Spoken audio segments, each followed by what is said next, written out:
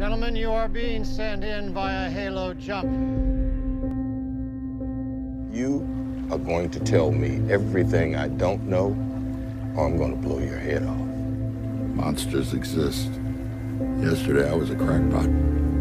But today, You dropped those charges to flush something out.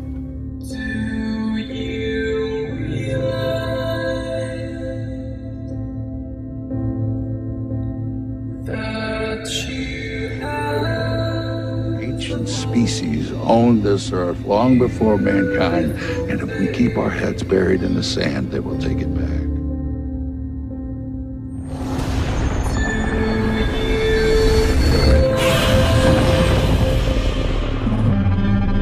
I realize not all of you have had hands on experience.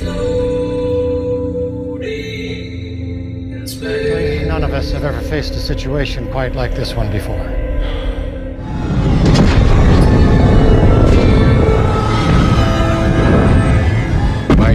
known as Monarch, we specialize in the hunt for massive unidentified terrestrial organisms. I'm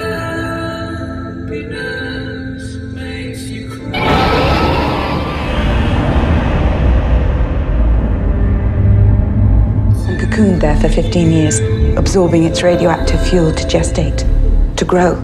Until it hatched like a butterfly into the creature you saw today.